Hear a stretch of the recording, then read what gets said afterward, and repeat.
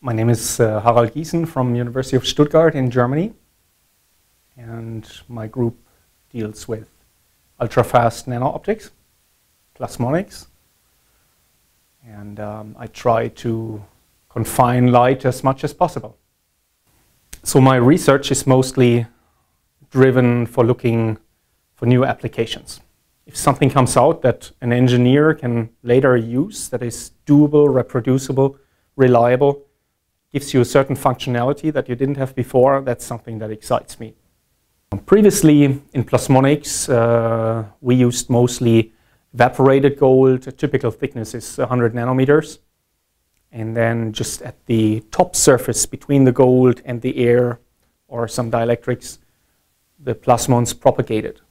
And the properties of these plasmons are very much governed by the light properties. So their wavelength is also just, or more or less the wavelength of the light.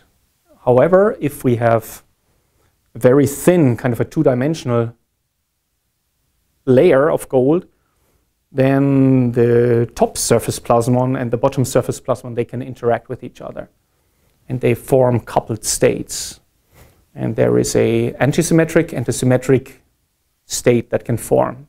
And the antisymmetric is the one that we usually observe, the long-range plasmon, but the symmetric state, that is the one that gives such a short-range surface plasmon, and that leads to the nanofocusing.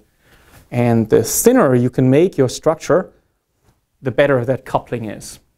So ideally, we would go to even smaller thicknesses. However, then our flakes are not as big anymore. So there is a trade-off. So we try to get the best gold as possible, atomically flat, single crystalline. And we have ultra-short laser pulses, 15 femtoseconds at 800 nanometers, excite surface plasmons in them.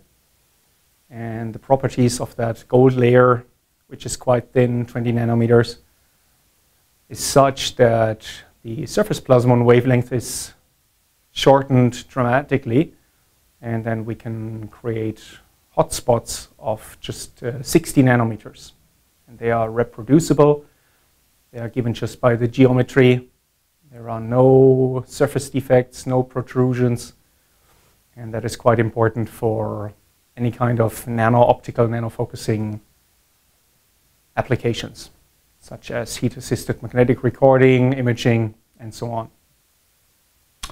With our ultra-fast uh, spectroscopy setup, which is done in collaboration with uh, two other German groups, we can actually watch the surface plasmons as they propagate along on the surface and um, then see how they form this nanofocus, how they confine the light.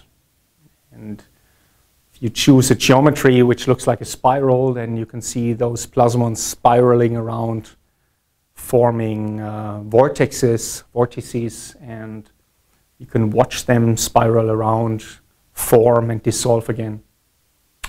Um, I think that has not been done before. That is quite unique, and it is very insightful to, to watch this formation. And probably there are more applications also of this orbital angular momentum. Maybe for optical data storage, for trapping of objects, for giving angular momentum to these objects. When you talk about plasmonics, I think the um, sensing, metasurfaces, beam steering, polarization control, surface enhanced spectroscopy, they are very mature. And uh, our own group and other groups have built, for example, plasmonically enhanced sensors that give much better sensing performance than anything else out there. When it comes to aspects such as nanofocusing, data storage, and so on, I think we are still in the stages of research and development. When it comes to the micro-optics, that has um, arisen very fast and uh, can be taken very fast into applications to real world applications into engineering.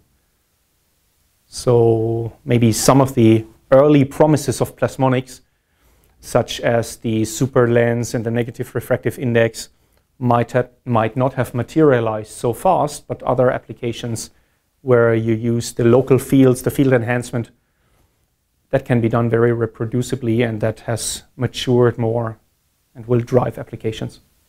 And then merging micro and nano optics, I think is pretty exciting. Because the micro optical world gives you access to the far field, to optics as we know it. The nano optics is sometimes a little bit, uh, you know, too academic. And I think merging both fields can lead to new functionalities such as beam steering, polarization control, coupling of quantum systems with each other and with a far field that cannot be achieved by any other means. That is exciting.